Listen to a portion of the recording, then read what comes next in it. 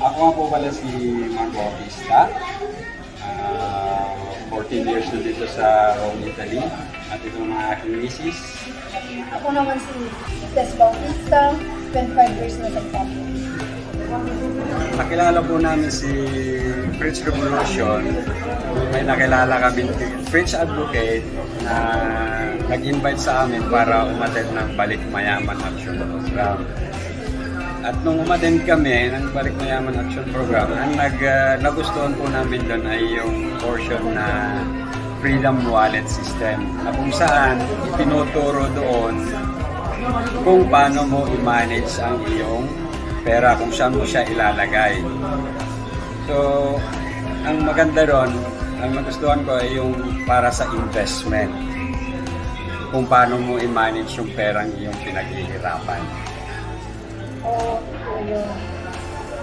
Dati, pagkasweldo, padala, pag nakapagpadala na ako sa Pilipinas, wala na, wala na akong iniisip. Yung perang natitira, pili lang dito. Kung ano yung nakikita ko, pinili ko. Tapos, dumating yung time na napag-isipan namin mag-invest lang. November 2010, nag-invest kami sa Linya Makati. Tapos, August 2011, nag-invest ulit kami sa Stixen. After 5 years, nabayaran namin pareho. Na turnover na pareho. Tapos, napaupahan namin kaagad.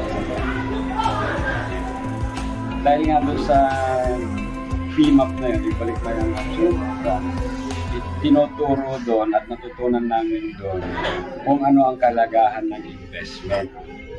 Kung ano maibibigay ng investment para sa future natin, lalong-lalo sa ating mga OFW. Eh, isang pwede ka mag-invest sa condo, kaya yun ang ginamit namin. Nga sabi ni Matt kanina, kumuha kami ng dalawa, after 5 years, nabayaran namin ng cash, zero interest. At ang maganda doon, napaupahan din namin na sabay. So, ibig sabihin, wala na kami nabayaran. 2016, kumuha ulit ako ng isang linear Makati. After 6 months, napaupahan ko dahil promo siya.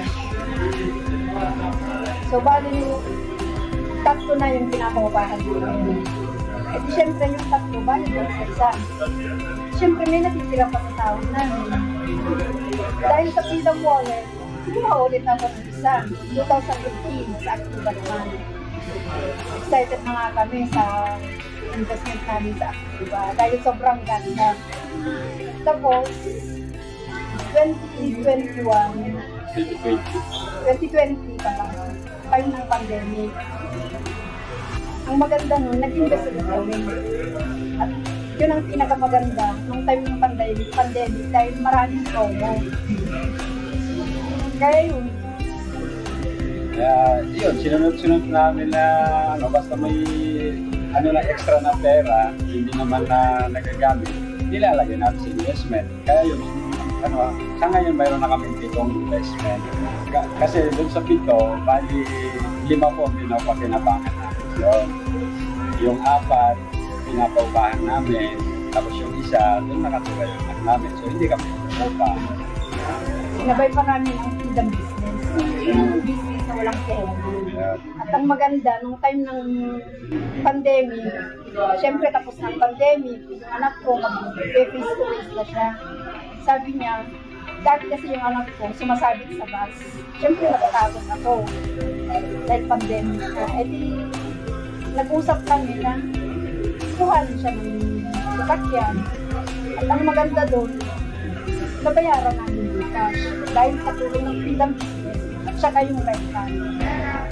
ang maganda kasi sa, sa, sa Prince Revolution, nagbibigay din sila ng sabi nga nila, freedom business, yung business na walang puhunan. At pwede mo rin, pag nag-invest ka, pwede mo rin doon kunanin ang pagbayad mo sa investment mo. So parang may investment ka na naging siya ng free. Dahil nga, maliban sa sahod mo, pwede mo rin gawin ang freedom business sa sa'yo para makatulong din sa pagbayad sa investment mo. Uh, actually po, ngayon, uh, hawak na rin namin yung tatlong titulo sa amin. At isa pa doon, binibigyan po kami ng 58,000 pesos monthly income dahil sa renta. Papasalamat ako kay Beach Mentor, sa Beach Mentor, si Sir Terence, at kay Ma'am Tess, dahil sa mga binibigay nilang seminar na libre. At saka syempre, papasalamat ako sa sa isang taga-freedom business na hindi ako sinukuan. Hanggang sa, eto na, nakapag-invest na ako ng ito. So, sa ating mga kapwa OFW, kahit man sa buong mundo, ang sasabi ko lang po, pag uh, na-meet nyo, kung may nag-invite sa inyo na tiga Fritz Revolution, huwag po kayong magdalawang isip, sumama po kayo, at least libre naman po. Pero, sigurado pagkatapos ng event, seminar, mas yung may matututunan po kayo. Hindi lang mo matututunan para sa inyo, pero para sa buong pamilya nyo. Kaya, nga natuto, kayo pa kaya. Laban with you, free